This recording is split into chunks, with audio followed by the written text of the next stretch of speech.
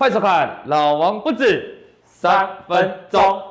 哎，各位，提醒你，提醒你一个很重要的事情，非常重要。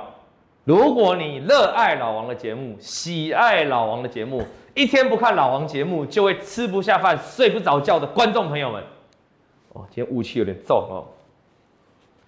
一个重要事情你要知道，这个礼拜五，这个礼拜五，因为是我们这个普惠的尾牙，哎呦，尾牙，哎，对对对，我们科市长还没宣布停办呢哈，内用还是可以的哈，对对对对。而且我们员工也不是像几百人呢，对，哦，所以这个小尾牙是持续。那既然可以，这个还没有内用还没被禁止哈，那我们礼拜五是尾牙，所以我们就礼拜四，好，我们原本礼拜五是有这个解盘节目的嘛，对，我们就移动到这礼拜四，所以你这个礼拜五晚上八点半来老王的频道，你是看不到解盘节目的，因为提早一天，也就是这礼拜四，我们就会先录好，那当晚八点半就会播了，也就是说解当天的啦，你懂我意思吗？原本是礼拜五嘛，对那我们就提早一天来做解盘的服务，也就是说这个礼拜不会因为普惠的这个同事们，我们举办尾牙，你就看不到老王的节目，不会，因为我们还是非常照顾各位观众。小编服不服？服啊，对啊，我其实礼拜五我们要尾牙，我就干脆请假就好了嘛，对对不对？哦，放假一天嘛，我本来以为是这样，反正他免费仔嘛，哎对哎哎哎哎，免费仔也是老王的铁粉啊。我一直都这样的嘛，哦，我一向我一向都尊重各位的，我说你就算不加入会员我也没关系，因为我就是感谢大家，只要你肯看我的影片，你肯按赞，你肯订阅，你就是我的粉丝，你就是老王家族的一员，对吧？对，哦，小王家族也好，老王家族也好，哦，我都非常欢迎你。所以呢，我们特别就跟这个简介师、跟我们梅梅，还有跟我们小编商量，我们就一提前一天，所以这是很重要的事情哦。哦，再次提醒你哈，记得礼拜四就可以看到老王解盘节目，这样你礼拜五礼拜五就会有所反应，你懂吗？就不用再等到礼拜五了，OK 吗？好，然后呢，原本礼拜四的下午四点或者精华篇，那一天的精华篇就会瞬移到这个礼拜日周末再来上映。所以周末无聊的时候，也欢迎锁定老王的 YouTube 频道，这样 OK 吗？好，我都解释完了啦啊，要很清楚哈。那这个事情，明天我们礼拜三下午四点，这个王老先生的 Podcast 的直播哦，在 YouTube 上面有真人的直播。那当天的晚上，当天晚上我们有音档，你可以到 Apple Podcast 去听，你也靠，你也可以到 Google 的播客去听啊。我们明天的内容是什么呢？小编，打死不退，赔光光，你说什么？打死不退，赔光光，打死不退，赔光光。对，这是明天的主题嘛啊啊！你想知道我、明天那个故事的主角来信的惨烈哦，精彩，什么都玩，什么都赔哦。真的，如果你也有玩什么赔什么的经验，欢迎明天下午四点一起翘班来当个薪水小偷，一起跟老王来怎样？我们来一起了来看我们的最新一集《王老先生》。那如果你想了解什么叫我把台积电换红海，这个是我们上一集的内容。那上一集的内容呢，会放在这个直播一样啊，你你到我们频道去都没有删，你都可以随时去看重播。但你更重要，你要记得留言呐、你不留言怎么抽鸡排？对不对？对，呃，鸡排明天要见分晓了哦。哎，目前看起来是你一面蛮大的，我一面蛮大的了哈，但还不知道嘛哈，赶快去留言，明天可以抽鸡排。开始今天的直播，好，董哥，美股真的专打第四节，是不是救了台股一次啊？昨天哈，你昨天要睡觉前哈，哦，你说你看到纳斯达克跌多少直？接跳空跌了好，跌到两趴多吧，两趴多哈。对想说应该差不多了。台股的夜盘期货好像一度跌一百六十几点以上，以上。哦，这样跌跌跌跌跌跌，到三点多开始拉哈对。今天是第四节，所以就说啦，哦，小编你就安心睡觉啊，各位观众你就安心睡觉啊，哦，因为怎样？因为你睡觉前看的跟你睡醒后完全不一样嘛，真的，差很多嘛。哎，啊、你看这个下影线啊、迷人呐、哦，啊、迷人呐、但是你知道哦，你是我观众的，啊你要来问我这个下影线，好，你一定我我一定说，那我不认识你。哦，嗯，我我没有这种观众，我没有这种粉丝啊，你听得懂吗？你是我的粉丝，你是我的观众，好、你是我的冬粉，对不对？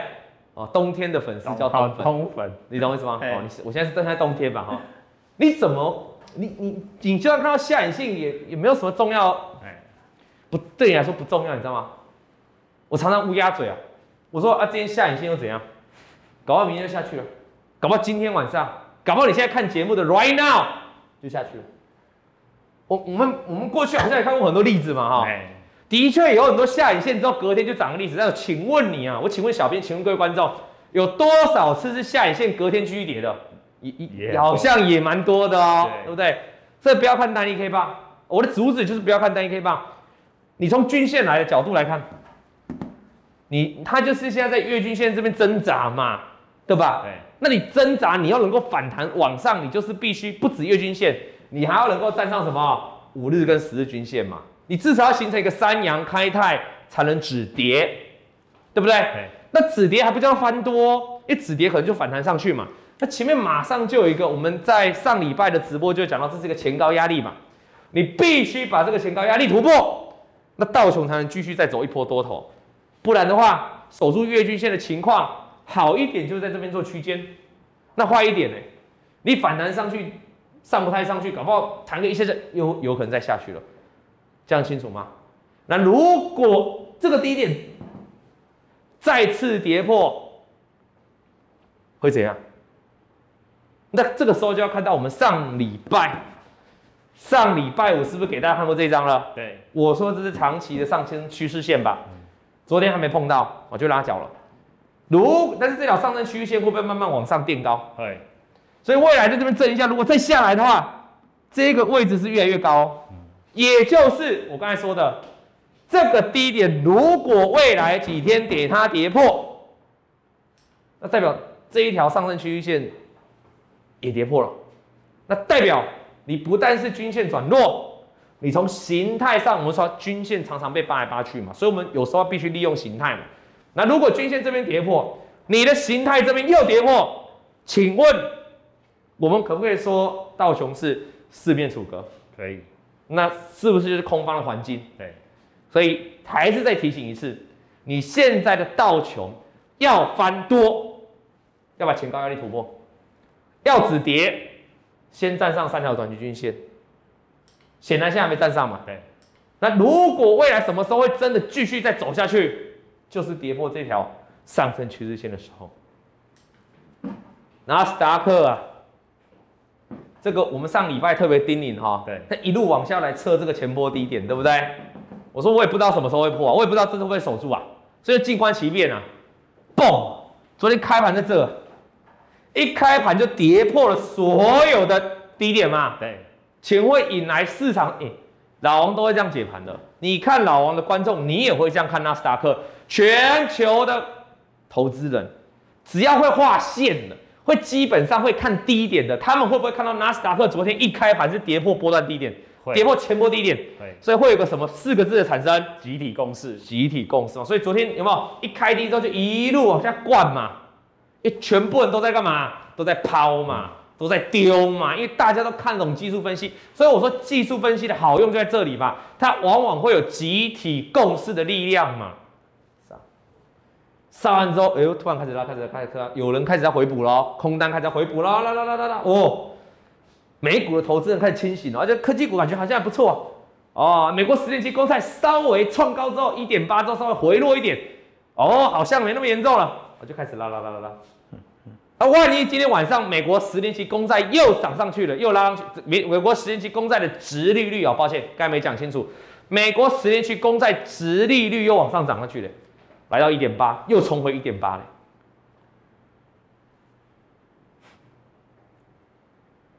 那你你这个低点不见得守得住哦。嗯，我们上礼拜我给大家一个很直接的结论嘛，你要观察美国的科，尤其是科技股，纳斯达克、费半要止跌，最重要的基本面啊，总体经济面的指标是看哪一个？就是美国十年期公债殖利率嘛，对，对不对？所以这个地方特别注意哈，你的总体经济还是看这个美国十年期公债殖利率的变化。那如果你回到技术面来看，它终究是给它收红上来。以目前来看，有没有守住这个前波低点？有，还是守住，还是守住。但是就形态来说哦，它其实这个低点已经被跌破了啦。你整个形态来说，即便它现在还勉强守住，但我认为它已经是一个空方形态的啦。就是说，哦，它虽然还死守着，但是它已经跌破四条短期均线了嘛，终究是跌破四条短期，终究是跌破四条短中长期均线了。所以这个地方，小编，我就我们我看错就要认错，对，不用再凹了，不用再凹这个钱，不用再凹了，因为已经破低了。哎，哦，该执行家法啊、我们不用客气。我以为你会说这边我喘息了一下，没有没有 没有，不凹了不凹了，来来来来，我们做节目没在凹了，这一台没在凹的，哦。哦，很哎，这好小，有点响有点响，要小声一点，要小声来来。哦，谢谢谢谢谢谢。上方宝剑。上方宝剑。出鞘，哒啦哒啦哒，没关系啦，是从这支用来到现在才两次啊哈。董哥这会不会是黄金右脚？黄金右脚，我告诉你啊，通常左右脚人家会希望是一个等平，或者是右脚比较高一点嗯，哦。而且当你问我这会不会是黄金右脚的时候，你已经在预测预测未来的走势啊，那其实就不符合我们就线论线，我们技术派的一个最重要的宗旨嘛。对，那我请问你哦，你这样看起来是右脚，啊会不会上去之后碰到这些短短中长的均线压力又不过又再下来，那这个又变左脚，也就是右边再一颗脚，啊，所以到底是不是脚，你不用急着现在去判断，因为怎样？我上礼拜有说嘛，你顺势交易的人，你不用去管下面有什么支撑，你应该就要等到它能够翻多上来，你才能判断哦，纳斯达克现在转多了，你同听得懂我意思吗？嗯，那接下来怎么看？昨天拉了一个新的低点嘛，对，那这个新的低点就接在短线的观察了。也许今天晚上再下来，嗯 很难讲啊、小编在很不很难讲啊，不，董哥你怎么会这样讲？昨天拉下影线？不是啊，我就是因为这样讲才符合我的逻辑啊，对，因为我 always 告诉你什么，不要看，单一 K 棒，那合理啊，我就没有在看这一根，管它什么挖沟的，我只看现在所有均线是不是都往下，对，它是不是也在所有均线下面？对，那就四面楚歌嘛。更何况它原本还没跌破这低点哦，昨天还给你尝试跌破了，对吧？对，所以对我来说，纳斯达克你要我再度讲出它翻多这句话，就是要把前高这里给突破，不不是前高，把这些所有均所有均线，而且不止哦，这里是要高点，这里是不是高点可以画一条前高压力，嗯，这边再突破，我认为纳斯达克就会再度往上去挑战那个什么地方，历史新高。我到时候就会再跟小编赌一次加法，OK 吗？好，但是现在这些发生了没有？还没，还没嘛？那还没就代表这边就算反弹了、只要站不上去，有没有所以再来第二只脚、第三只脚、第四只脚的可能？有啊，你你不你不哎、你你不是印度神童好吗？我现在问你，来各位观众来，你觉得这是一只脚上去还是两只脚？不知道，哎呀，啊你如果猜得出来，那个都硬掰的，你听得懂吗？你都硬掰的，我们不用掰的，我当然不是神童，还是你要考虑当个台湾神童。啊，小便，当然哦，当个台湾神童，然后你看 哎，当机吧，台湾神童啊，台湾神童，嗯，所以懂了吗？啊，那短线如果这个低点再破，哦，那不，那你要很小心，那就是非常非常弱的盘势哦。那对台湾的个股就中小型股就会很伤哦，因为如果把这里再跌破，代表这边也破了嘛，那全部都破了嘛，对这个大的区间就没了嘛。它现在勉强还能守在区间下缘嘛，对不对？对，对呀、那懂啊？我问你一件事啊，昨天的纳斯达克是不是开低走高？对，今天的贵买跌多少？贵跌了一点六趴。嗯，我有没有跟你讲过，台湾的中小型股跟纳斯达克高度联动？有，那纳斯达克最后是不是修正？对，那我们贵买有没有跟着崩？有，有没有印证我先前讲的？那另外我再问你一件事，纳斯达克昨天是开低走高，我们的贵买都可以跌到一点六趴了。你想象一下，各位观众，你想一下，如果今天对昨天晚上纳斯达克是没有开低走高的，是这样下去就一根黑 K 到底到这里的，你觉得今天贵买会跌一点六趴吗？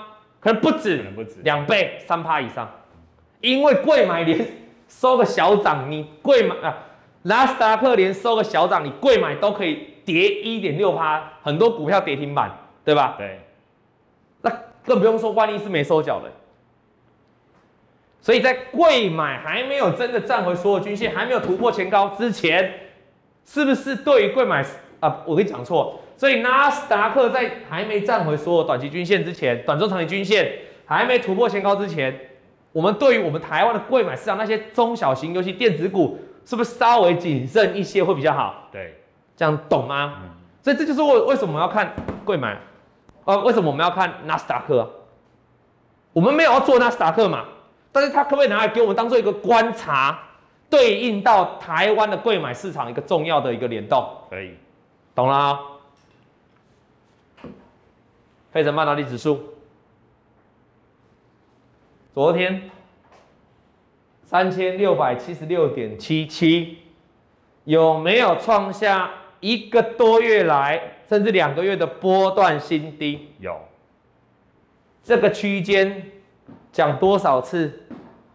更重要的是来了，这边突破前高之后，快速的跌破。我说，如果跌破短期均线，包括月均线，这个叫假突破，假突破区间的假突破就会来真破底。我如果是现在才跟你讲，这个叫马后炮。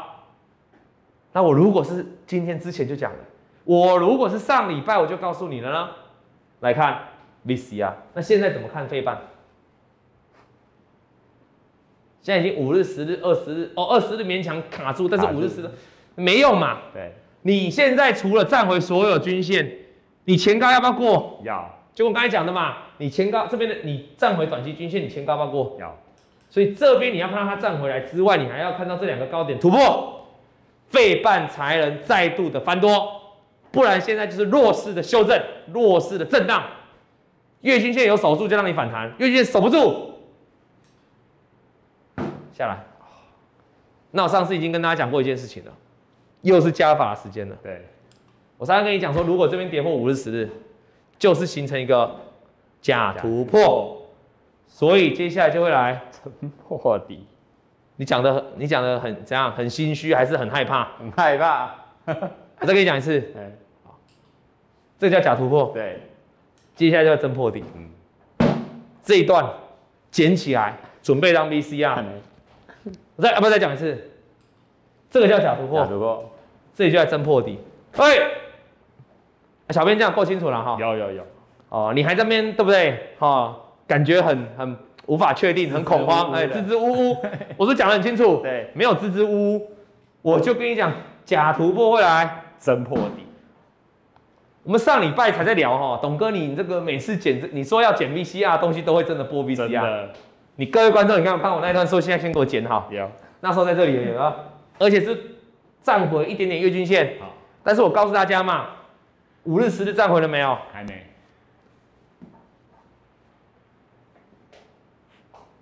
老师，我不用加法了。不用。哎，忘了，我忘了跟你用。哦，你好像没跟我赌男子汉的加法哈。没有没有。哎呦，让你逃过一次哦。真的。因为你会怕，对不对？怕。好，那现在重点来了。它毕竟还是打在区间嘛，哈，就跟纳斯达克一样嘛，哈，所以搞不好它还有本事再弹上来哦。但是就在这区间震，你一定要看到它贯破这边，就昨天的低点如果跌破了，我是不是跟你讲说季均线参考参考用就好，没有什么太大意义，因为我说季均线下面就有前波低点嘛。对，所以接下来的费半就跟纳斯达克一样。他们的重点都放在昨天盘中急杀的低点，安听好不？好。如果那个低点，昨天的低点再破，我今天来唱歌，我就现场要唱歌喽。唱哪一首歌？小编，来来，你先，你先倒唱。Say goodbye，Say goodbye，你注意哦，如果这一段跌破低点的过程是发生在农历过年哦。你注意哦，你等来，你等来，唔是唔是三趴五趴六趴的代志哦，是就有可能跌停板的代志哦，你要注意啊哈。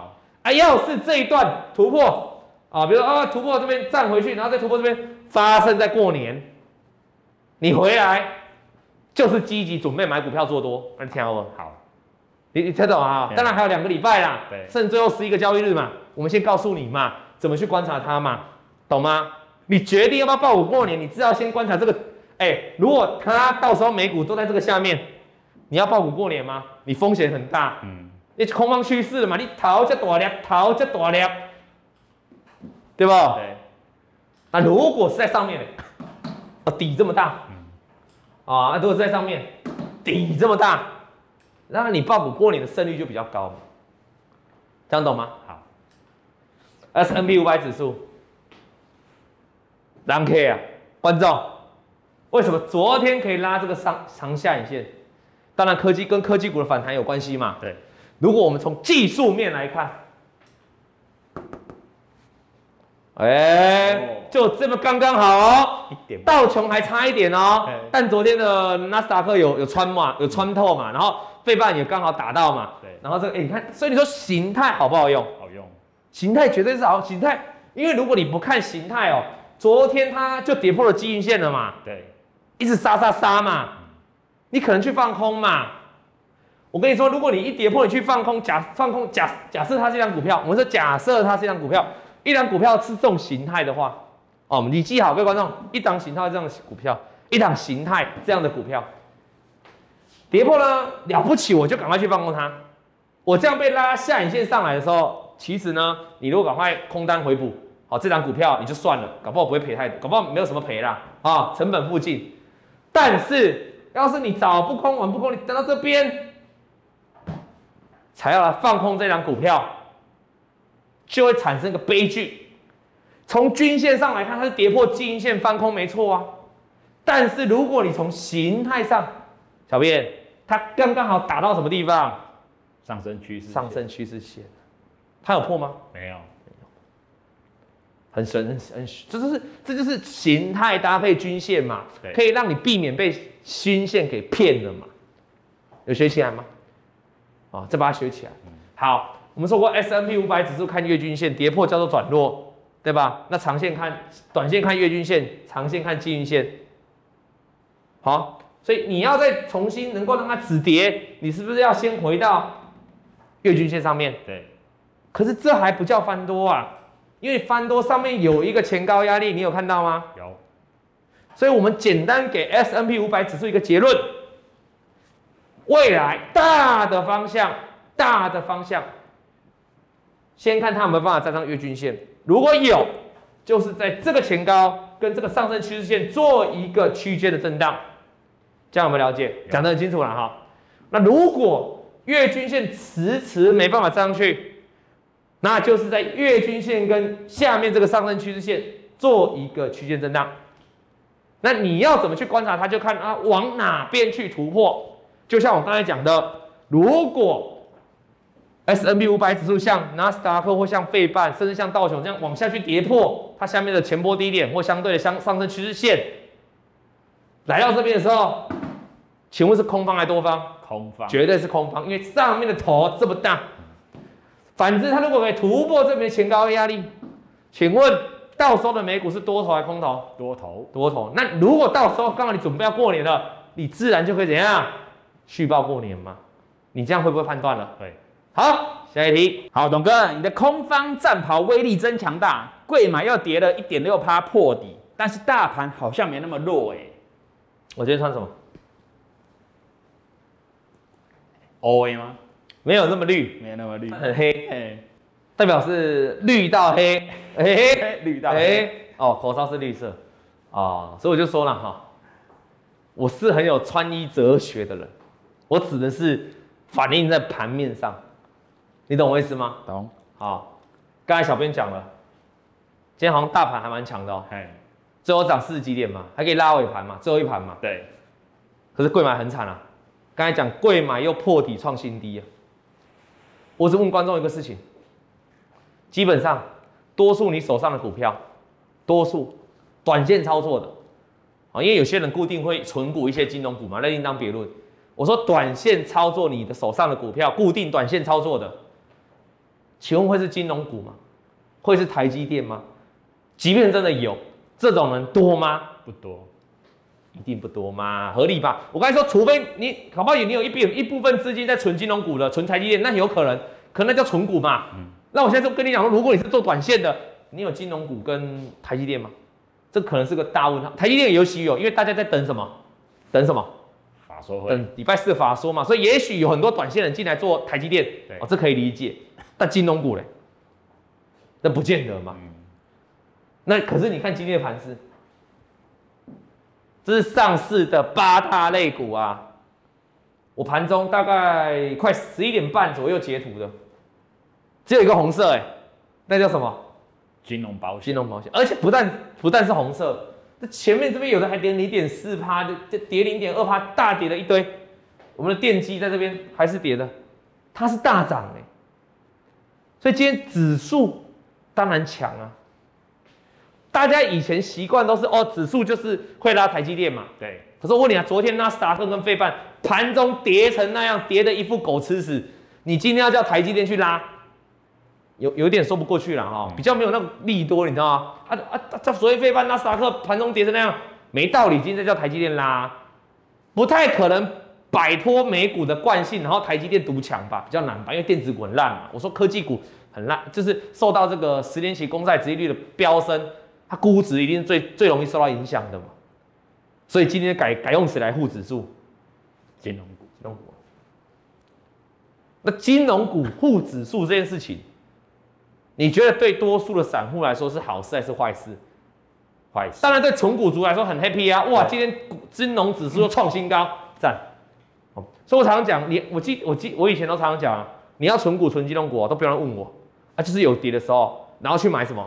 呃，金管会不是什么大到不能倒名单，哎，你记不记得我我我解我我之前解盘节目讲过这个？我说你根本不用问我怎么存，反正金金管会有什么那个大到不能倒名单。哦，你看喜欢看你哪一家，你就可以去存股了。我讲过存股就存了，然后就是爆了嘛，对，对嘛？啊，恭喜你们啊，真的很棒，因为台股有万八嘛。但毕竟不是每个人都在存股嘛，也有很多人存股也不是存金融股嘛、嗯。M a y b e 很多人存联电啊，对，很多人存中钢，啊都有嘛，呃存中华电，哎呦存到金融股人，恭喜你们，很棒。我老王讲过，我不会完全不会看不起任何一档股票，我也不会去酸任何一种方式，我都我都我都我都可以，而且我都称赞。但是我们今天要讲的是金融股大涨的过程当中，你刚才看到了，资金都跑去金融股了，这些全部都没涨。那你说大盘今天就算上涨，难道是全部的股票都会涨吗？这上市哦，这上市哦，上涨的三百零八家，下跌的七百二十八家，安内利也好什么？是不是超过一倍？对，下跌的超过上涨的一倍，但指数是涨多少？四十八点，大盘上涨哦，上市集中市场，集中市场的下跌加速多了上上涨的快，超过不是快，超过一倍。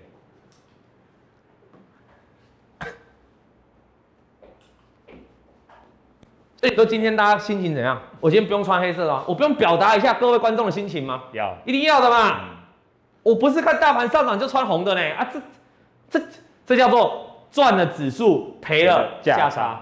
你股票都在赔啊，对，啊，这还只是集中市场。哦，啊，集中市场这大盘指数怎么看？记不记得我们上礼拜跟你讲什么？我说短期均线五日、十日跌破之后，下面还有一条月均线，嗯，对吧？对，好，它就是一个不重要的支撑。它如果跌破，那整个就变空方环境了，就跟贵买一样。那你现在回头来看，大盘在昨天有没有守住月均线？有，贵买是早就跌破月均线，对，所以两个相较起来，就跟上礼拜我们讲的，谁比较强？大大盘呐、所以大盘是有人在撑的嘛。所以它今它因为它要守住月均线，所以今天反弹也合理呀、因为它月均线有守住嘛。但是上礼拜我怎么跟你讲的？我说，可是它已经跌破五日跟十日啊，它现在即便月均线有守住，它也必须要能够怎样站回五日跟十日啊，才能形成三阳开泰的多方形态啊，对吧？对，所以你接下来这几天就观察嘛，看看台会不会继续拉金融股嘛，看看礼拜四的法说台积电能不能让它往上大涨嘛，因为台积电跟金融股都跟指数有相关嘛。如果你要看指数这个部分，就看金融股跟台积电了，大型全指股。如果可以站上五日、十日，有没有机会再挑战这前高压力？有可是你必须要怎样，台股才能再走出一波行情，把前高压力突破嘛？如果没有，你可能好一点，好一点。如果可以站上五日、十日，好一点，就在这区间震荡，在前高跟月均线这边震荡。如果差一点呢？如果说金融股今天只强一天，明天不强了，五日、十日站不上去，那你要注意哦，那你就要注意了，就往下跌破月均线的机会就比较大了。所以短期你要观察大盘能够稍微真的止跌，那就是观察五日跟十日，这样 OK 吗？OK 好。这大盘的部分啊，这样懂了啦啊。贵买六百六十七家下跌，上涨只有两百八十七家，哎，这个也是超一倍，下跌是超过一倍，而且是一倍多多多多多嘛。对，不小心就两倍了嘛，对不对？嗯，多很多嘛，一倍多很多嘛，下跌加速哦，这叫贵买市场。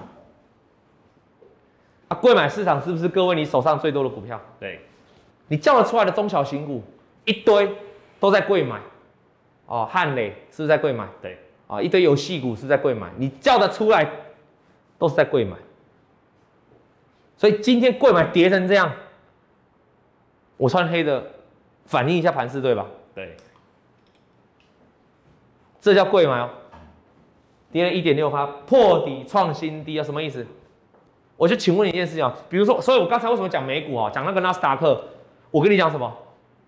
我说搞不好纳斯达克今天晚上要跌下来啊，我也我也不确定不会啊，嗯，我就讲了嘛，因为我不看。单一 K 棒，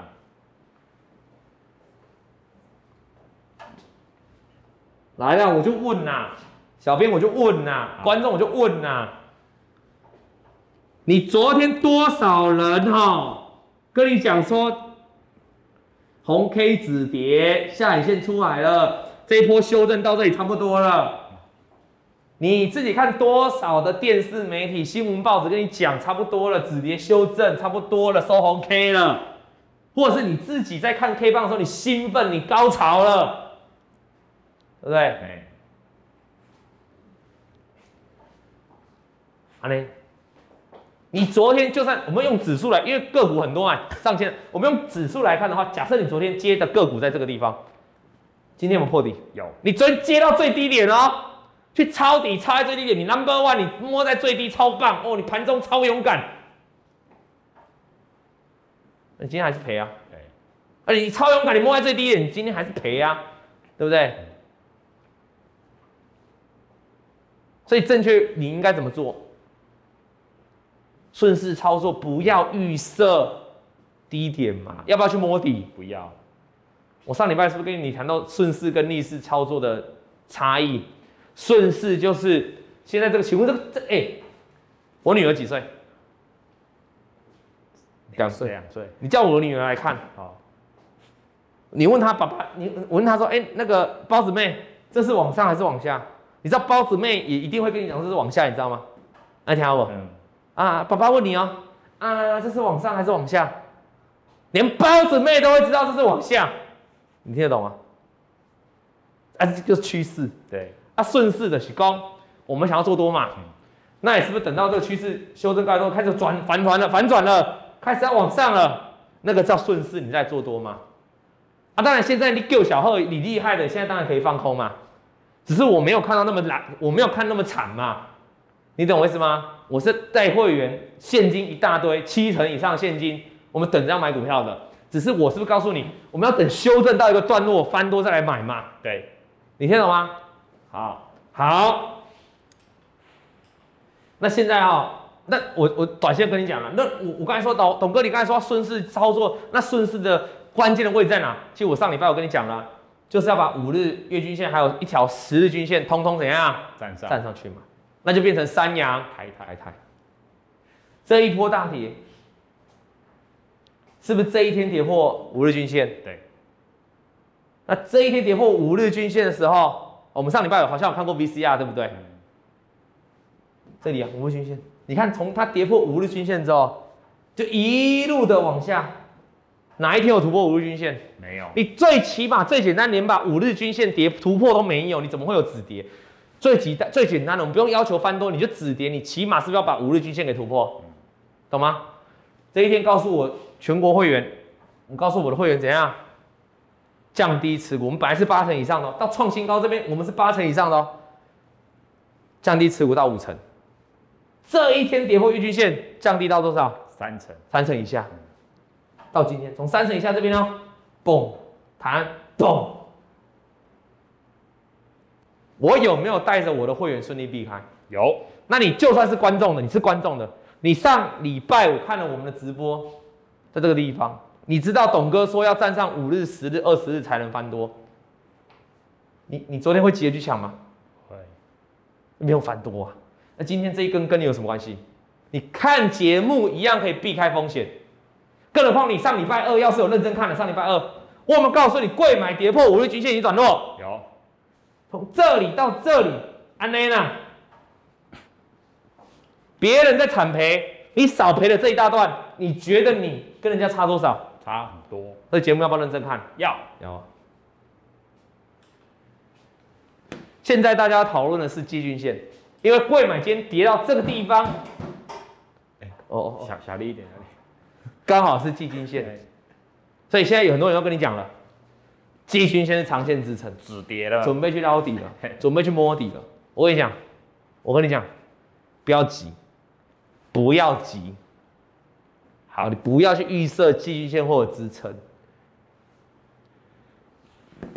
但是季均线对贵买市场的确很重要，你可以多观察一下，因为万一贵买跌破季均线，这一条叫季均线，嗯，万一跌破，万一跌破，万一跌破，你可以发现每一波短线的修正都非常的怎样剧烈，剧烈，不见得说崩很大，但跌幅都那跌的速度都蛮刺激的，嗯，所以你要多观察一下，多观察一下不会要你的命，对吧？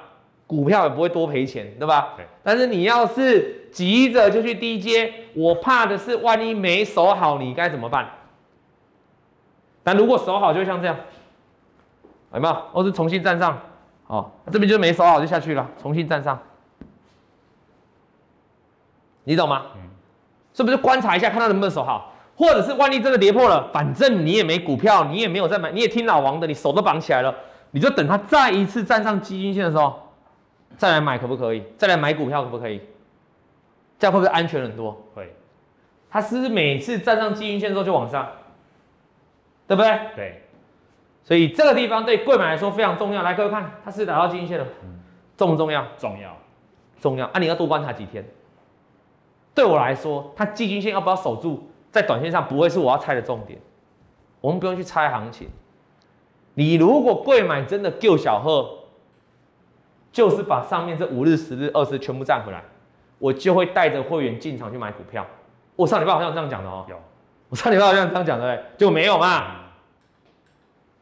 来啦，Yesterday，昨天开盘没多久，九点二十六分，你知道发生什么事吗？各位观众，我先跟你讲哈，我刚才跟会员交代这件事情哦，我在午报都有讲哦，这些这些，我就会员讲，我跟会员讲说啊，没有站上三阳开泰啊，你不要急着买啊，哦，大家降低持股到三成以下，然后不要，然后先保先绑好你的小手手啊，不要急着买股票，不要急着超低，这个我都在会员午报有讲。但是我要跟你分享一个盘中的，因为我们会员午报大概是十二点多到一点嘛，哈，对，我跟你分享一个盘中我们高阶会员的，我们的午报会员是多少？三九九嘛。那我们的高阶会员是三九九九，只有高阶会员会有简讯。那高阶会员的部分哦，这个就是昨天的九点二十六，大盘跟贵买发生什么事？你看我的简讯就知道，大盘跟贵买开低之后开始收脚，别兴奋。当然，我这一些话，我十二点的时候，十二点多的时候，又再一次跟我全国的会员在五报又讲一次，只是高阶会员会更提早了解我对今天的看法。我在讲什么？这昨天哦，对，本周纳斯达克有可能本周纳斯达克有继续挑战破底的可能哦。这昨天，对，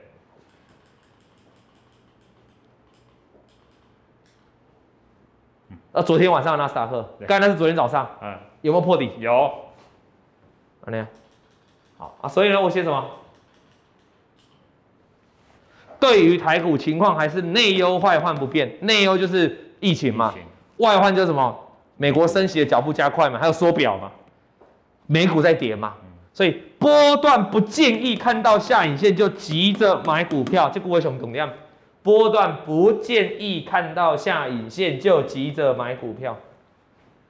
我在昨天的早上九点二十六分通知我的高阶会员，不建议看到下影线就急着买股票，看到大盘跟贵买拉下影线，不要急着买股票，别兴奋。所以今天在跌，我们会有哪会受伤？你哪会受伤？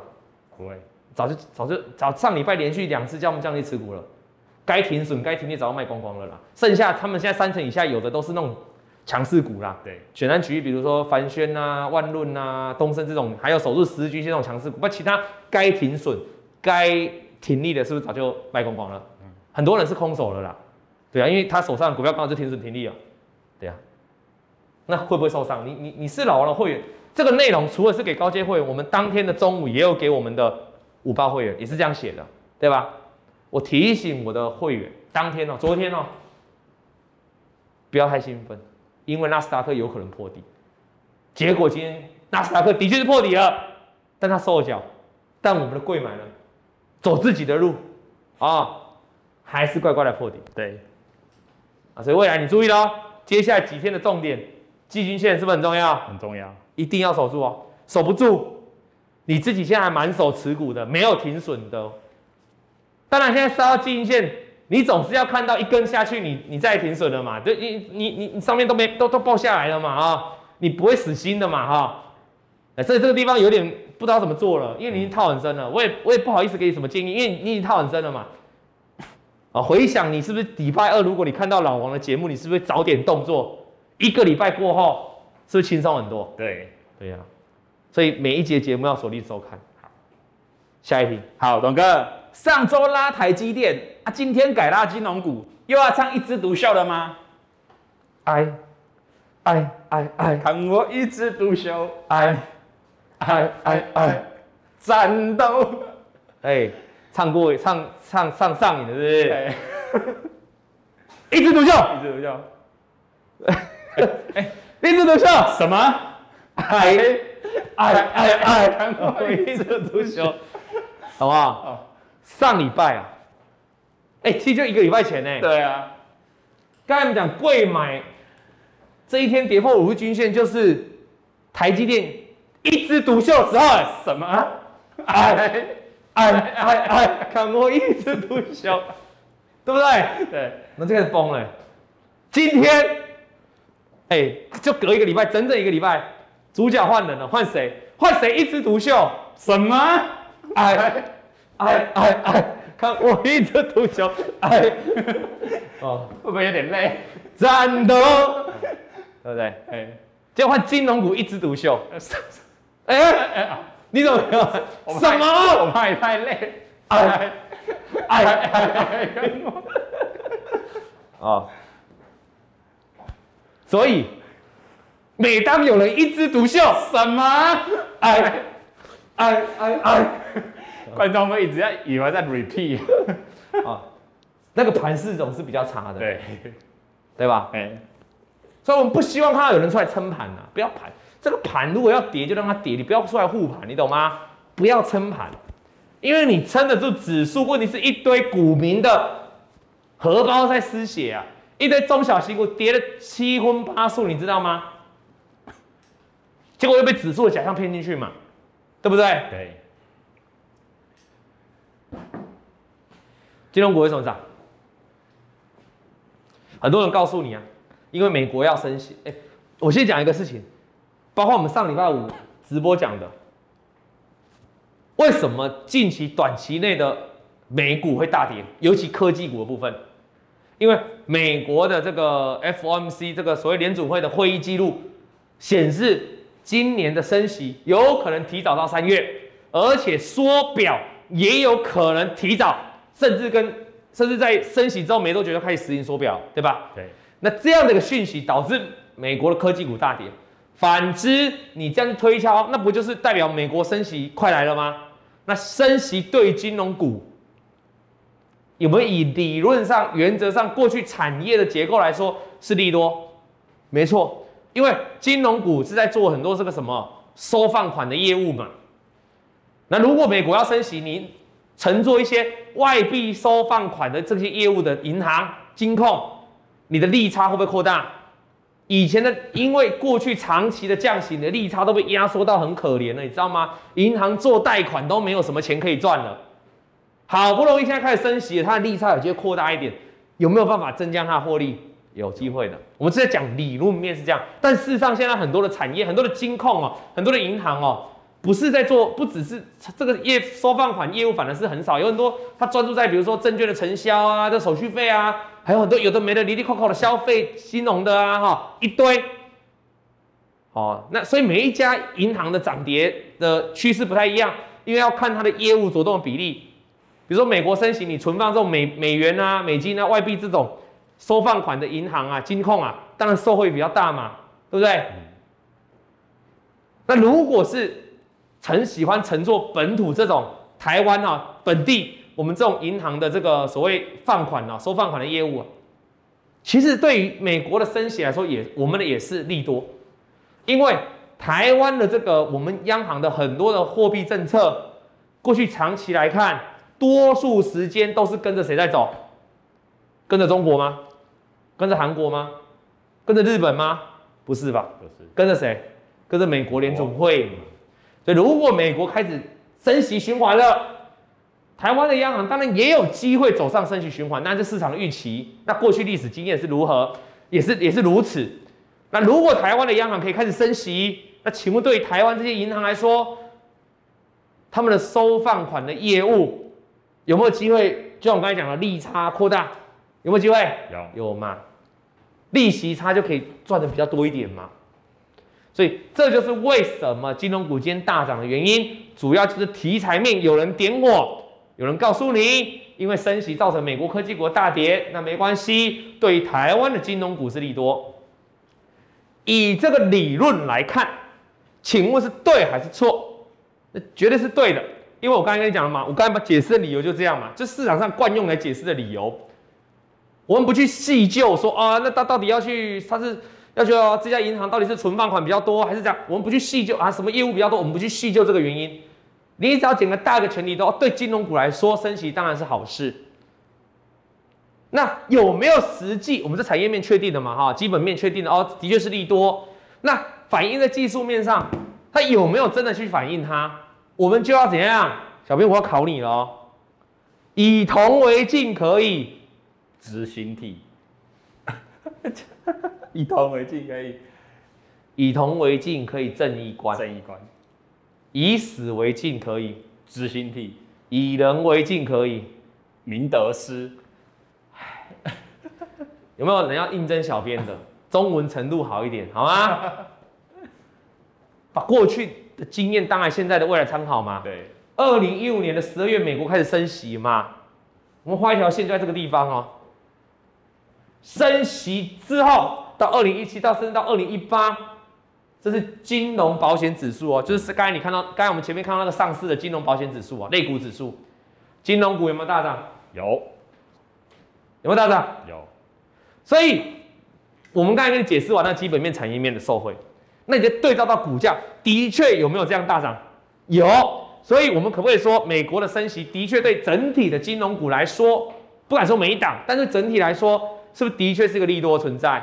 是。所以今天的大涨就有理哦，因为过去人家历史经验是这样，所以人家会兴奋，会想要说啊，那的确金融股要去买啊，要让它涨啊。短线在这个地方点火，但是你要注意的是，二零一五年十二月升息的位置在这个地方，在升息之前大概一个月，或者是升息之后刚宣布升息之后的一个月。请问这个金融股是大涨的吗？不是，它是在升息之后，反而大跌之后，升息宣布完大跌，大概一个月时间跌下来之后，见到低点，然后就一路往上。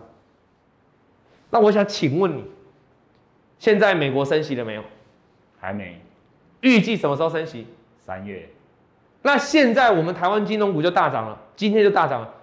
你能你能保证就从这样这样涨上去吗？你能肯定吗？不行，不能嘛，因为过去的经验是，哎、这边人家也曾经大涨哎，曾经前一前几个月也有大涨哎，后来有没有跌下来？有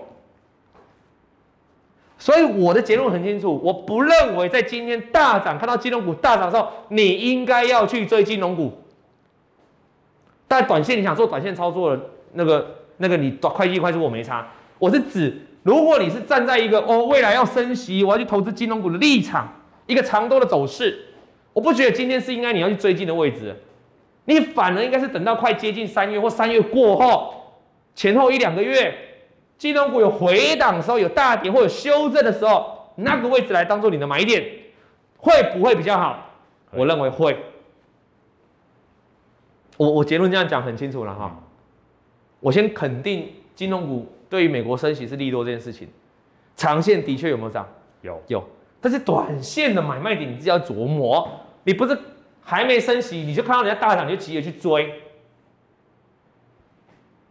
你懂吗？万一跌下来怎么办？然后跌下完跌完，然后升息之后再开始往上涨，那你不是买太早？做股票不要太冲动，看到什么涨就想追什么，你听得懂吗？你你这样永远被扒来扒去的啦。啊，你有说你如果说哦，你前几天去买金融股，你认为哦大盘在涨的时候哦那时候台积电在动，所以我去买金融股啊，跟大盘高度联动啊，看到我升息，然后今天涨上来，我觉得 OK，因为你你厉害啊，你买到买对好股票啊，小编你听得懂我意思吗？嗯这样人家他厉害嘛。但是如果你是今天大涨才来买金融股，哦，就比较冲动一点。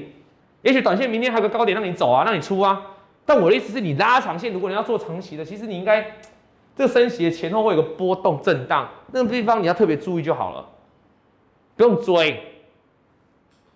那以个股的表现来看，富邦今天长虹快五趴吗，这是护盘嘛，对不对？对，拉抬靠金融股嘛。如果其实金融股哈，你有长期看老王节目的哈，我现在小编可能也知道，长期看我们解盘节目，过去一年多以来哦，我一直告诉大家金融股哦，你的短线操作、哦、就看一条均线就好了。哪一条？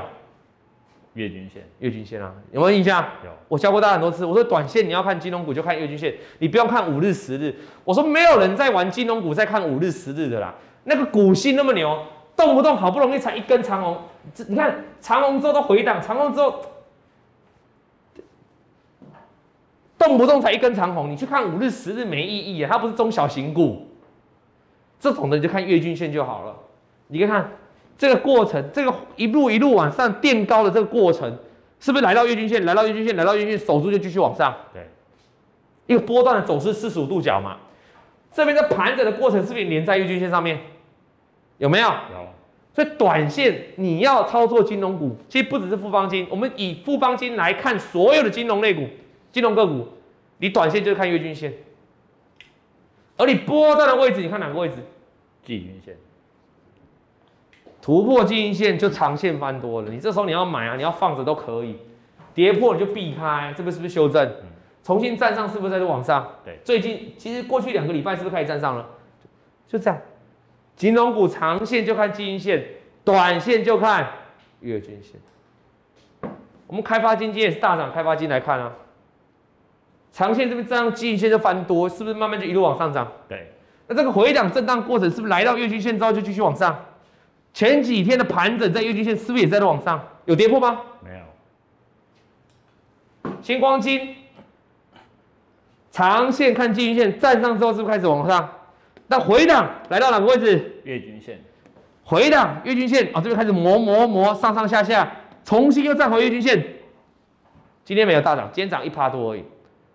那你也不用太气馁，你不要想说人家开发金啊、富邦金都大涨，星光金为什么涨不动？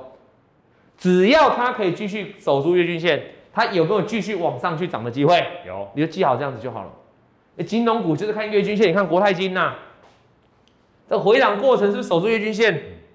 然后呢，往上。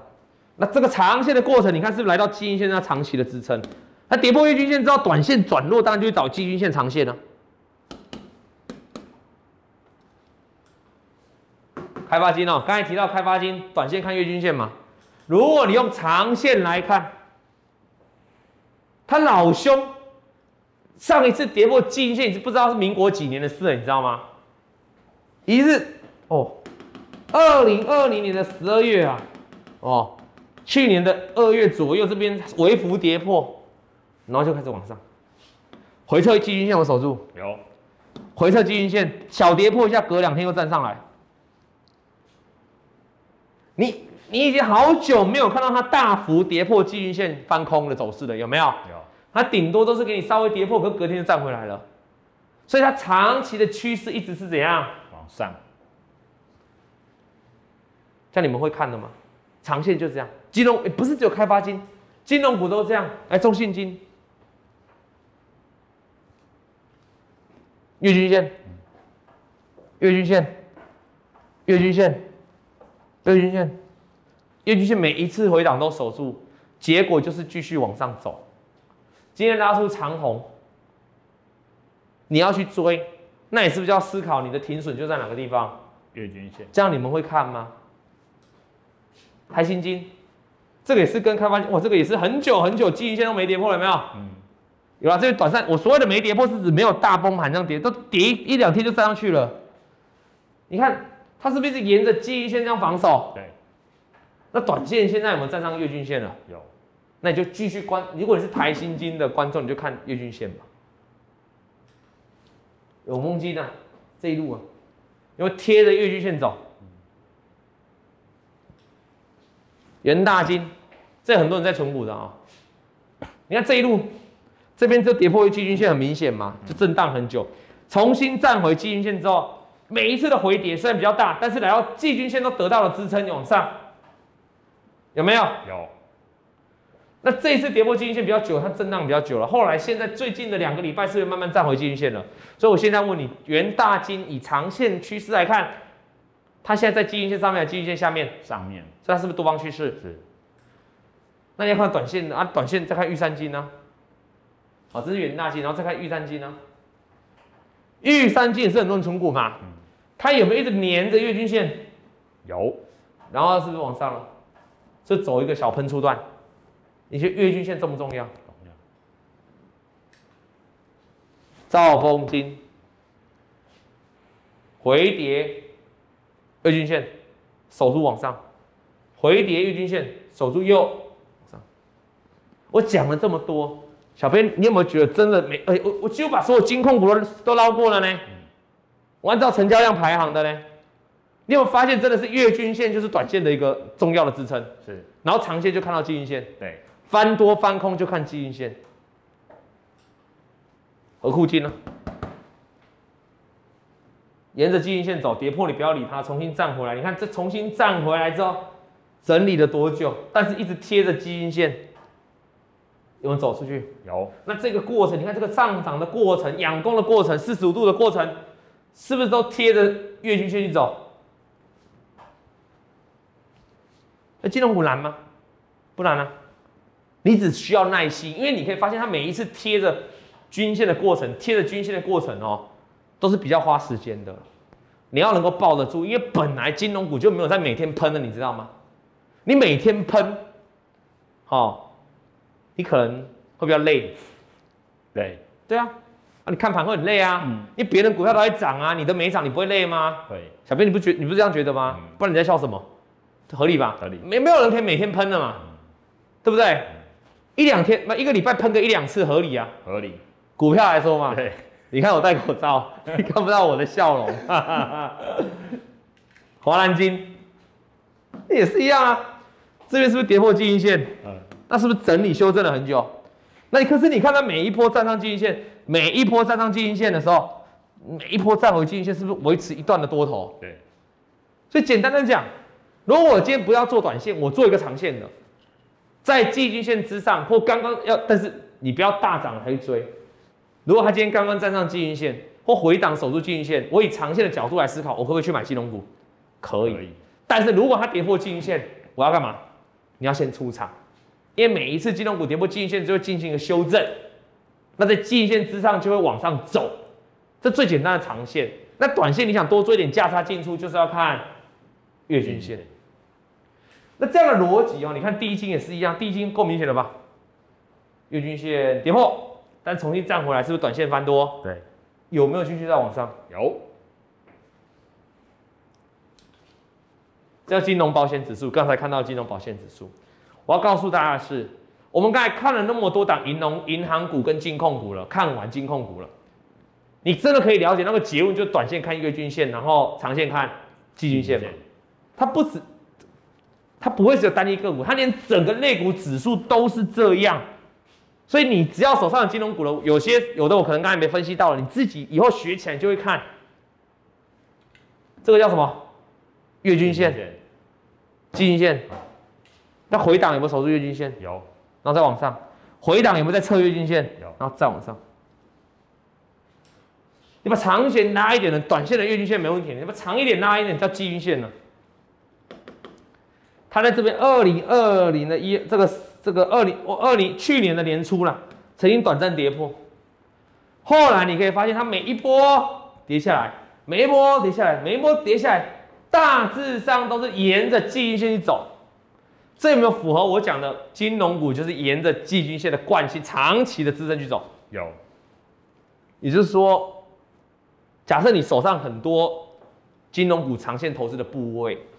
那你又不想啊？你又不想一直放着十年、二十年、三十年？你想要做一点有一点调节的话，你要关心你手上的金融股，就是那什么时候跌破了均线哦？你可以观察这个金融类股指数、金融保险类股指数，如果哪一天跌破均线，你再把你手上的这金融股哦，做一个获利入袋动作就好了。那如果它都可以持续守住这个均线，也许短暂跌破啊，短暂跌破这一两天没关系。如果再再回来哈。只要它没有明显的长黑贯破，好像这不一样，那基本上你的金融金融股的部位都抱着都没关系。当然，我要先讲，如果你是纯股的，如果你是纯股族的，你根本不需要做价差，那跌破就跌破啊。小编，你是纯股族的，万一是纯股族的，跌破金融跌破的时候怎么办？买更多啊，买更多啊。对，小编哦，没有真的没有纯股族就是。纯股就要领股息了，但是跌越多买越多啊。那我现在是跟你讲说，哦，如果你有投资金融股啊，你又不是想纯股的，那你的观察重点就看基因线嘛，这样懂吗？金融股还有个小小特别，我要叮咛大家的一件事情哦，你做纯股的没有这种没有这种思考了啊，除非你硬要做价差了。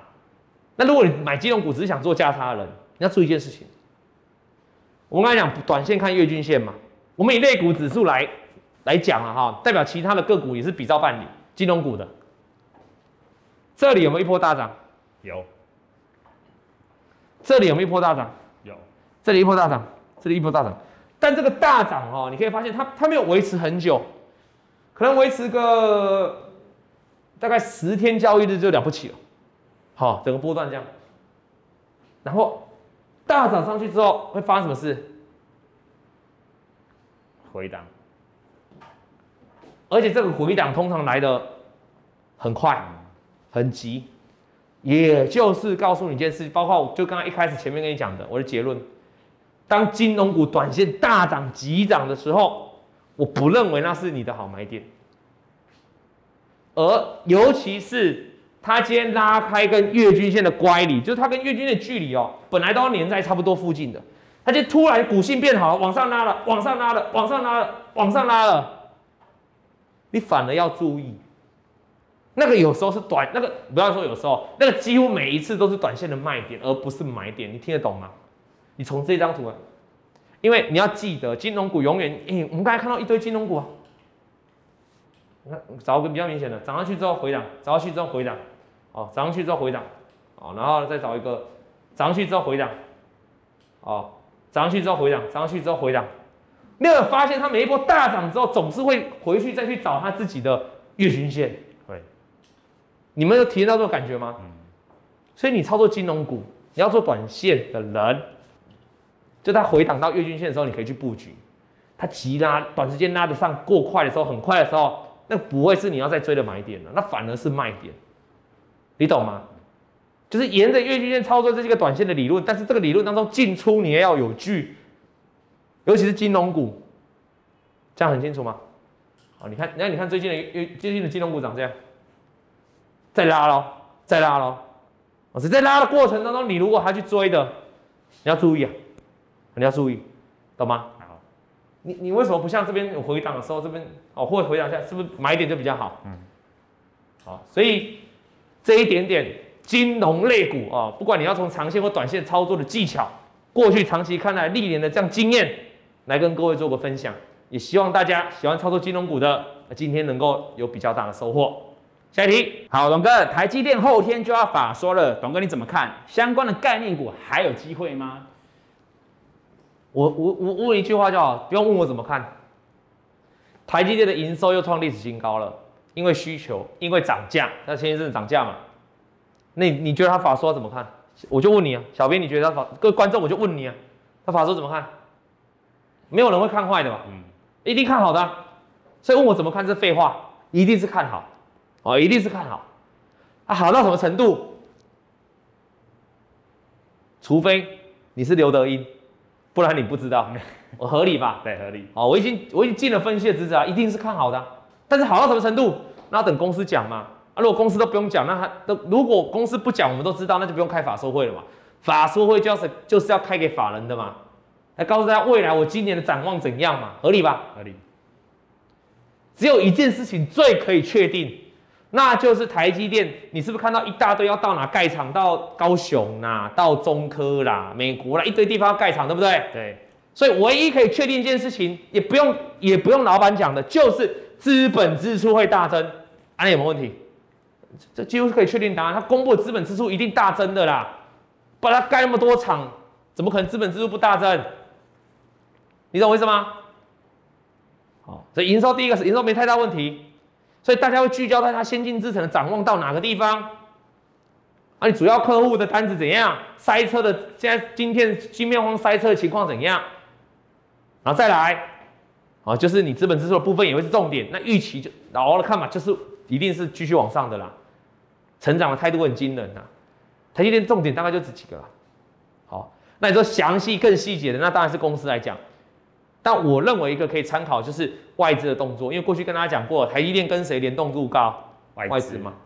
你今天如果外资愿意在法说前站在买方，当然就认同，如就会认同他法说开得出来的内容会比较漂亮嘛。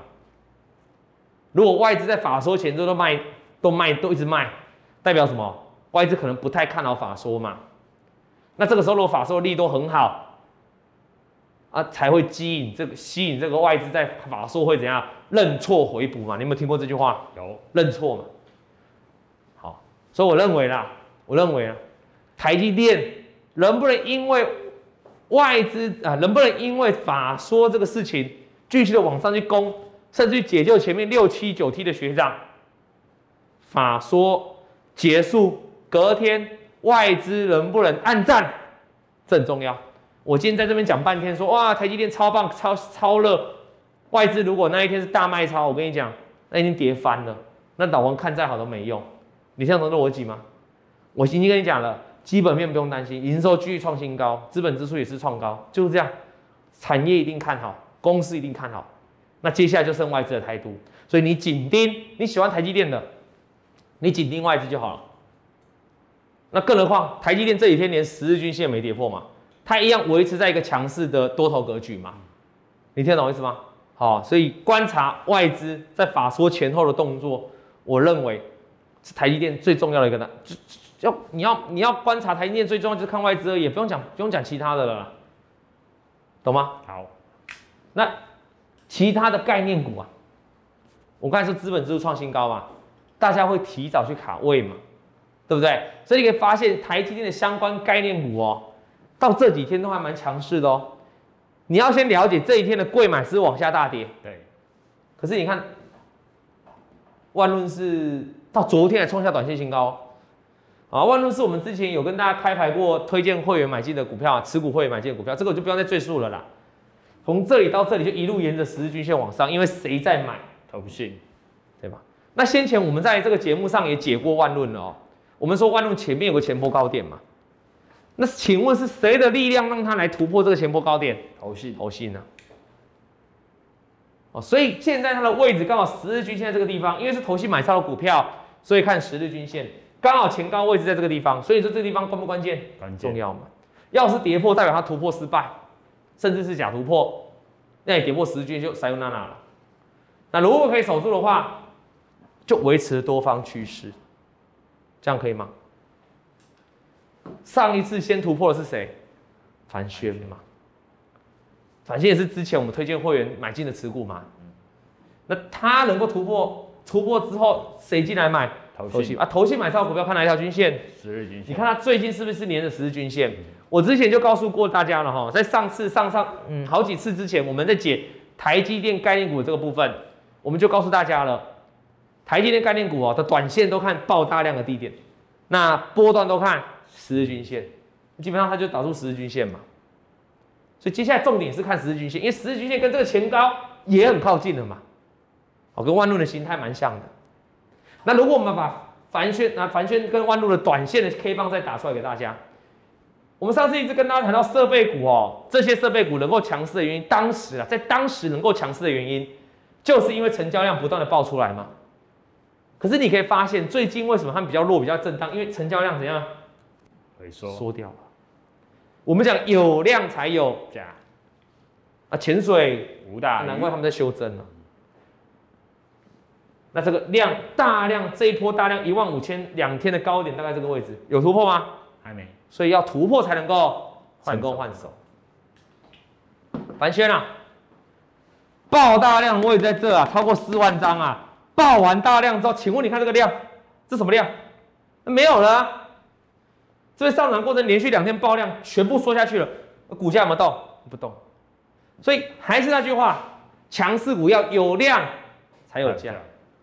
啊，大涨上去之后，你看这个、哦，这是波段最大量的低点哦，缺口，隔天就怎样？封闭，高档爆大量把低点跌破，缺口跌破，那不就是那四个字？凶多吉少，有没有开始修正？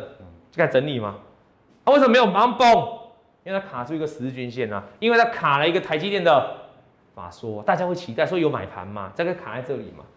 但是你还是要观察这个附近的，就十日均线附近的低点嘛。今天刚好达到十日均附十日均线附近嘛，你就要观察这附近的低点嘛，因为它刚好做一个横盘嘛。星云，这个当时哦，今天那是爆出波段最大量，但是在当下，在今天以前，这个是波段的最大量，这根才是高点在这，低点在这，它是不是低点也跌破了，就开始盘整修正，反弹上来，为什么今天棉霸大涨，开高走低？因为爆大量的高点有没有突破？没有啊没突破有换手成功吗？没有，那星云接下来看哪里？支撑看哪里？十日均线今天爆大量的低点在这个位置，刚好就在十日均线，所以对他来说，如果这个大量低点失守，是不是代表十日均线也失守，日阳？波段最大量在哪一根？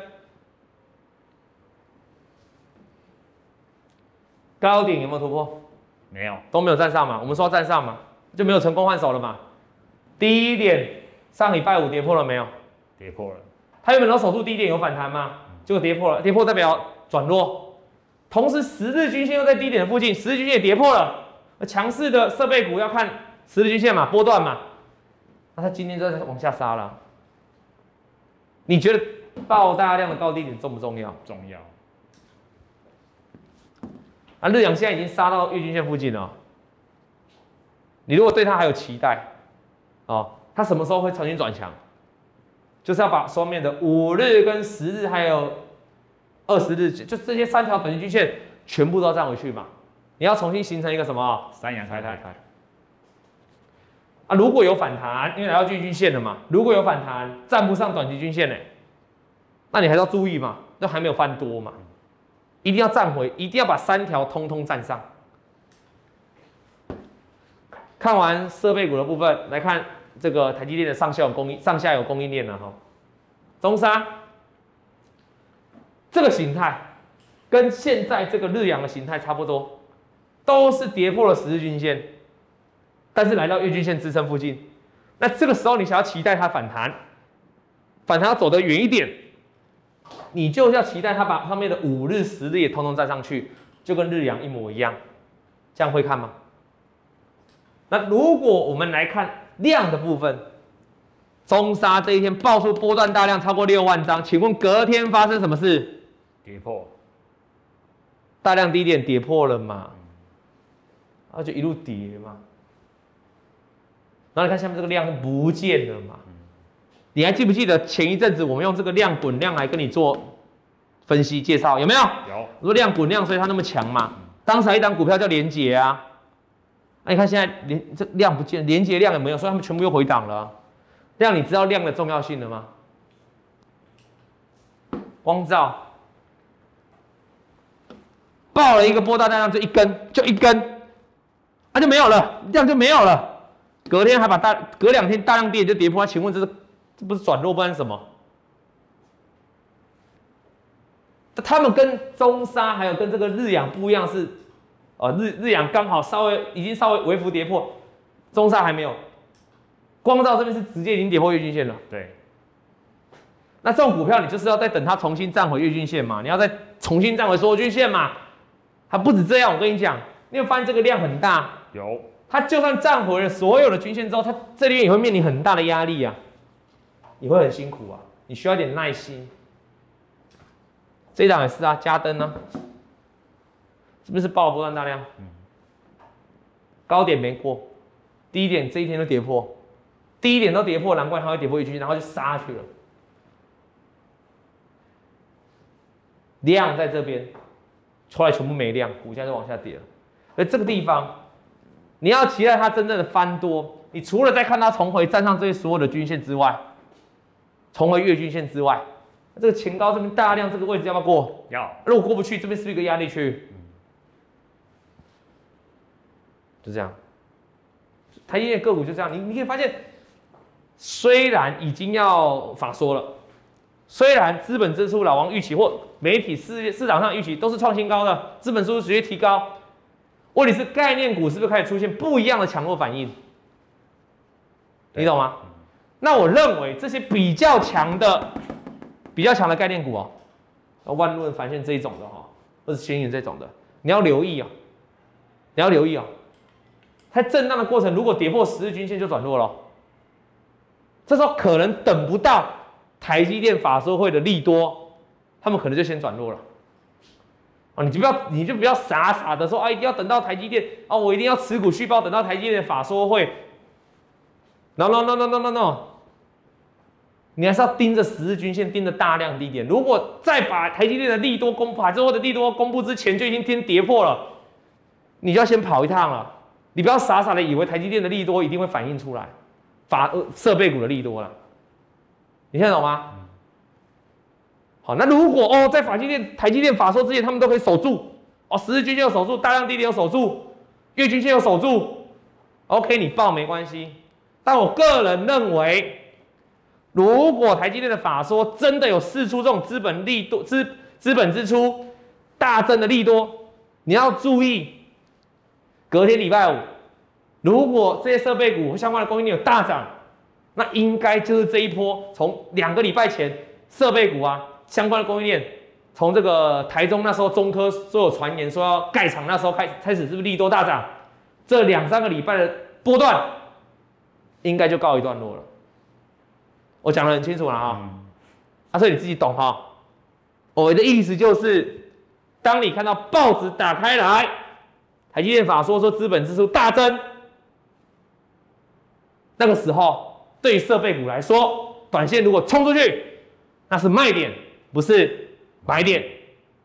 哦，我我我的公告就清楚了，好不 清楚有，清楚了啊，方向很明确了哈。对，好，下一题。好，董哥，昨天还很强势的防疫概念股，今天瞬间大跌重挫，疫情不是还很严重吗？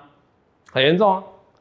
但大家可能突然想一下，说，哎、那、我家还有一大堆的口罩还没用哎、好像还不用去买。哦，我我家好像还有一堆康纳香还那个口罩还没用哎、对，哦我家马宝清洁剂可能还很多呢、还还货很够嘛。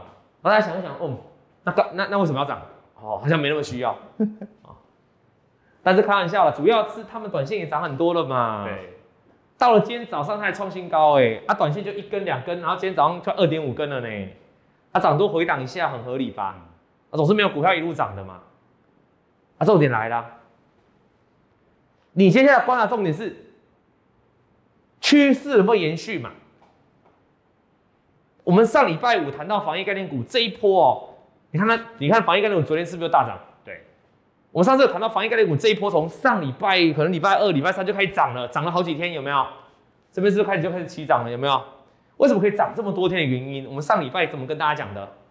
因为有量啊，因为跟上次突然爆一根量就不见，哎、这种是爆一根量就不见了，对，爆一根量就量就不见了，有没有？以前的防疫概念股就这样嘛，可这一波很明显是一直在滚上去嘛。我们上礼拜我刚刚跟大家讲到这个重点嘛，所以你接下来观察重点是，那接下来防疫概念股还要不要有量？要如果量就像刚才那样没有了，没有了，那防疫概念股我跟你讲，就算疫情，我们很不希望，我先讲，我们很不希望看到疫情严重哦。哎、你看小编，今天戴口罩了吧？对，今天一堆电视节目全部戴口罩了吧？嗯，因为我们政府规定录影有来宾的话要戴口罩，对不对？没错，哎、我先行者哎、上礼拜还没有人说要戴，我已经戴了呢。没错，因为我们有自我防护的意识，我们要保护，我们有保护大家的意识嘛，你懂吗？啊，这样子我们疫情才可以控制下来嘛，大家过年才可以过嘛，啊、不然疫情一直杀下去，大家不用过年了，真的，难得长假，对不对？一整年受到股市这样荼毒，我都不知道老多了几根白头发了，老老很老很多了，你知道吗？难得九天，不要剥夺好吗？所以大家疫情控制下，还有两个礼拜控制下来。好，所以我的意思是，如你说后面如果疫情继续严重，很严重，要是它没有量，那我跟你讲，你觉得它炒得起来吗？吵不起来，那今天像小编讲了，今天讲好像今天好像来到台北市了呢，对，疫情好像来到台北市是高雄了呢，照理说比较严重哎，我手今天长黑，所以疫情当然是跟这些防疫概念股有关系，但是你要知道我们现在口罩很充足，清洁剂很充足，所以如果你要说防疫类股因防疫概念股因为缺口罩、缺清洁剂所以大涨，这个题材是不管用的。那我们就你就只能把希望看在有没有人去炒，那有没有人去炒是不是要有量？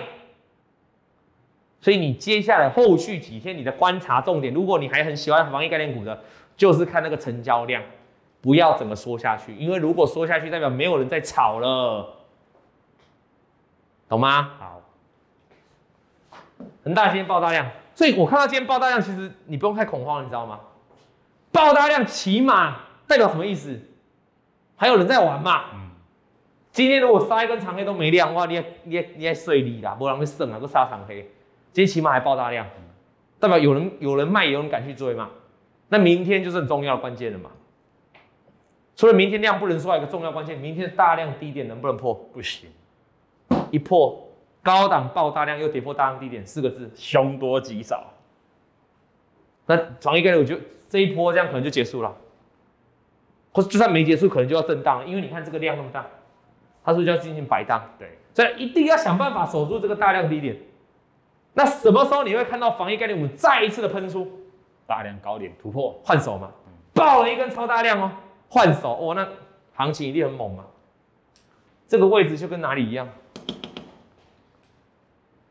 是吗，好不好？涨了两涨了两三天，爆了一根长黑带上影线哦，爆大量，当时爆大量，大你看当时这个量算大吧？对，当时哦，大量低点有没有守住？隔天直接开上去嘛，大量高点，再隔天就跳上去，又送你两根涨停板。当时的毛宝就是现在的恒大，但是恒大你要复制人家毛宝，你的大量低点就不能破，因为人家毛宝有没有破？没有，就这样啊，大量低点人家大量高点人家毛宝过，所以你也要能过。这样各位观众知道吗？很简单，同类概念股这两个这两集来都跟你讲，就看成交量就好，很简单，什么都不用多看，就看成交量。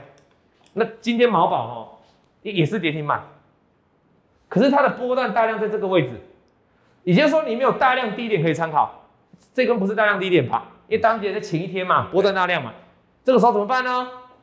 我们就只能回到短期的股票，你看五日均线，五日均线作为它短期，如果还守住，那 OK，它短期搞不好还可以再反弹，甚至再过高。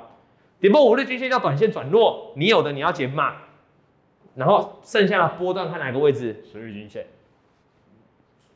就跟设备股很多也是看十日均线一样。康纳香，康纳香反而是昨天爆了一个波段大量，超过四万张。那今天跌下，已经把昨天的缺口封闭，代表它高档爆大量已经跌破了，那短期就凶多吉少了嘛，它就转弱了嘛。所以你可以发现，康纳香是昨天爆出波段大量，毛宝是前一天爆，更前一天爆出波段大量，恒大今天才爆出波段大量，所以三档股票爆出波段大量的时间完全不一样，你对这三档股票就有不同的观察方法，但你只要记得个重点，爆大量的低点只要一跌破就是转弱，五日均线跌破就是转弱，你要一定要做减码，你可以留一半看十日均线，像这边有十日均这波段的。OK，那什这三档股票爆大量的情爆大量的时间都不一样，但是有个共通点，就是他们要在转强的时候，就是一定要把爆大量的高点给它怎样？突破，那就还可以换手成功。那告诉那我告诉你，那防疫概念股就有机会复制前几天的再一波上涨，关键在爆大量高点要突破。彩贝通今天爆出波段大量。哦，我们上礼拜有谈到它量滚量嘛？对，就你看礼拜一就直接涨停板了嘛，资金跌下来很快嘛，啊没关系，那报一个大量嘛，嘉里大龙嘛，量滚量，昨天是不是又大涨，又涨停板，啊报一根长黑，所以这两个宅配相关的都爆出波段大量，啊你会不会看？今天的高低点就是这一波的强弱的判断嘛，只要今天高点再过，今天长黑根本没什么，继续往上涨。但是要是今天的大量的低点跌破，这两档就休息了，这一波短线急涨就结束了，这样懂吗？一定要再等到它把大量高点突破才会再涨。东升，哎，哦，董哥一整集了，我有看到蓝圈圈，一整集录到累了，是不是？有看到蓝圈，东升之前我们有口头在节目上讲过了哈，有啦有啦，啊，这个已经节目已经开牌过，就是。我们在十二月二十三有推荐会员买进了哈，对，那因为他一路都守住十日均线嘛哈，那按照 SOP 应该都还抱得住啦，好，然后就一路涨涨涨涨涨涨到这里来。原本呢它是法收的利多让它大涨，啊，原本是法收的利多，对，好，我们是十二月二十三号的盘后，然后推荐啊持股会员去买进，然后刚好有个法收利多，然后他就喷了，喷完之后呢，现在又刚好疫情，所以他又因为。东升嘛，对不对？啊，又又是一些网网购的嘛，哈，网通的嘛，网网购的嘛。因为大家都想说疫情要在宅在家里了嘛，嘣，所以东升昨天涨停板嘛，就是不同的利多集合在一起啊，然后又往上涨，今天爆了一个波段最大量。那你你这个爆大量你都会看的，请问这个爆大量你不会看吗？可以，短线就看今天的爆大量高低点嘛。对，那波段呢？十日均线。它这一路不就是沿着十日均线往上走？对，就这样，OK 吗？好，好，这个今天的直播，呃，今天的解盘就到这里了啊！非常感谢各位观众的收看。那记得记得，我们原本这个礼拜五的解盘节目，好，因为我们普惠尾牙的关系，所以我们提早到了这礼拜四啊。那播出的时间一样，八点半，记得各位观众要准时锁定我们哦。感谢大家收看，我们礼拜四再见，拜拜。王以龙、老王及普惠投顾与所推荐分析之个别有价证券无不当之财务利益关系。本节目资料仅供参考，投资人应独立判断、审慎评估并自负投资风险。